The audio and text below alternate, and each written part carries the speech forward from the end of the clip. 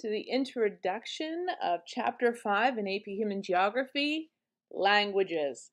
This is going to be a pretty brief lecture video. I just really want to encourage you to open up your books and take a look and start reading.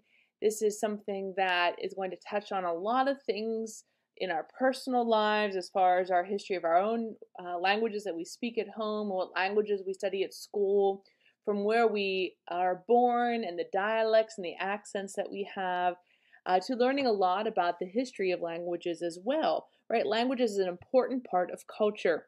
So let's get started on this introduction to languages.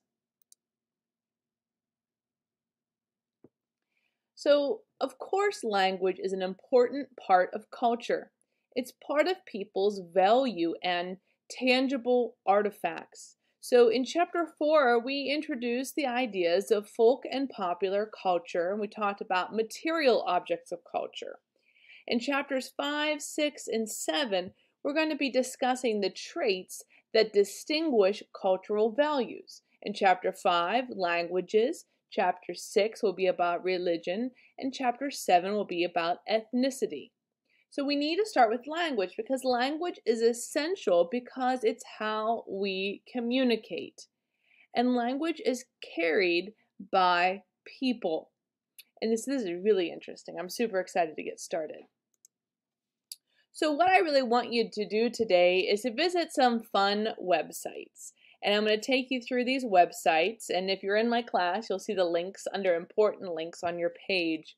So the first is a very short overview of the grammar history of the English language. And I'm sure taking English classes, you have learned a lot about the history. We say Shakespeare because so many words come into the English language from the writings of Shakespeare. But as interesting as that is, it's really a lot more fun to take quizzes about things that we say. We have a lot of accents and dialects and colloquialisms. A colloquialism is um, it's best to explain it, is a word or a phrase that has a meaning in a certain area, but it can vary by different areas. Uh, so the first fun link is this Accent Browse Atlas. And on here you can click different regions of the world and then hone into certain areas. And you will have the reader reading um, the same sentences but in English, but with different accents. So I encourage you to start by checking out different parts of the United States and then go around the world and click in different countries and regions. I think you'll find it really fun and you'll be able to recognize some of the accents that we talk about. Um, and as far as dialects, I have two other quizzes and they overlap a little bit, but they're kind of fun. One is Are you a rebel or a Yankee from the alphadictionary.com. Um, and then what kind of English do you speak from a blogthings.com? And these are just homemade by people. There's lots of ads. It's kind of messy looking, but I think they're fun. They're short.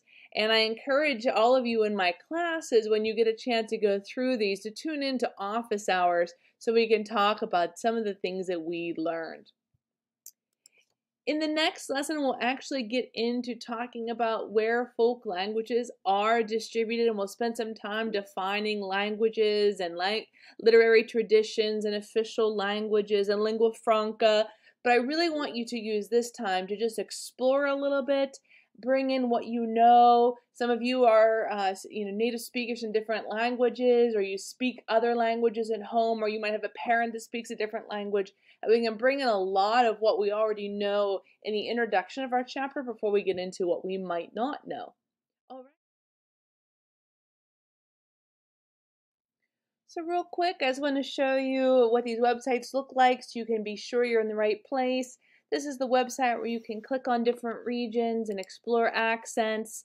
So I clicked here and there's all these little flags that I can click on that will bring up all kinds of neat stuff for me. Click on another one here. Click on a flag to see a representative speaker. And then up here you'll have a little play button. This is the same paragraph that we read all over again. You click it. Please call Stella. Ask her to bring these things with her from the store. And at first, you won't notice a ton of differences, but spend some time in the United States and then go around the world. That's a lot of fun. And then these little blog quizzes here. This is the Alpha Dictionary one. Uh, how do you pronounce different words? And they're going to give you a little bit of an outcome. And there's only 20 questions, and it's pretty fun. And then what kind of English, American English, do you speak? And again, this one they give you some choices. And some of the questions overlap, and they'll give you some interesting outcomes. And then the reading I want you to do is the history of English, and this is really brief, talking about five major events that shaped the history of English. All right, so I hope you have a lot of fun going through and introducing yourself to the concept of languages. This is Social Studies with Mrs. Johns.